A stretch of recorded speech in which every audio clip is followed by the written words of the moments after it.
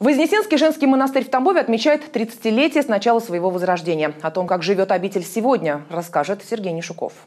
Радуйся, добрая наставница непорочного детства. Духовенство и прихожане Скорбящинского храма Вознесенского женского монастыря считают Акафист Богородицы у Вышинской иконы Божьей Матери, недавно прибывшей в Тамбов из Рязанской митрополии.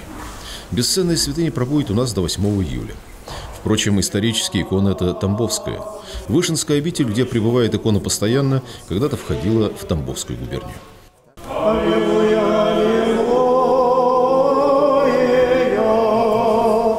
В монастыре есть и свои реликвии.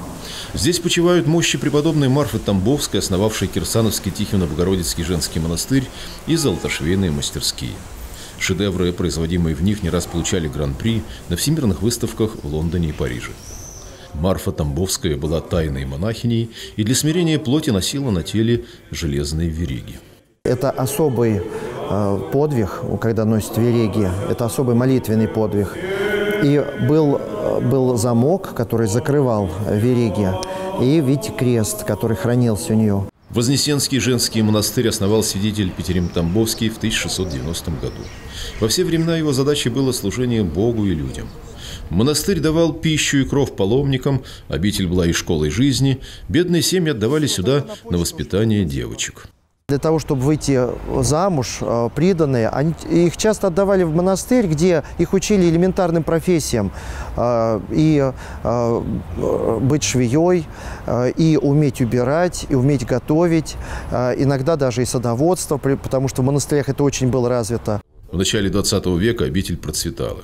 Богатела за счет сельского хозяйства, золотого шитья и других ремесел. В 1918 году Вознесенский монастырь закрыли. Молитва прекратилась здесь на 70 лет. Ровно 30 лет тому назад, в июне 1988 года, в стране еще при советской власти широко отмечалось тысячелетие крещения Руси. Это большое историческое событие позволило вернуть в лоно церкви Вознесенский женский монастырь в Тамбове. Тогда же началось обустройство обители. Мощи Марфы Тамбовской извлекли из-под спуда и прославили ее в лике преподобных. В 2014 году патриарх Московский и всея Руси Кирилл осветил Вознесенский храм монастыря. В ходе его строительства обнаружили склеп монахини Миропии. Он находится за этой дверью, с которой связано прославление Вышинской иконы Божией Матери.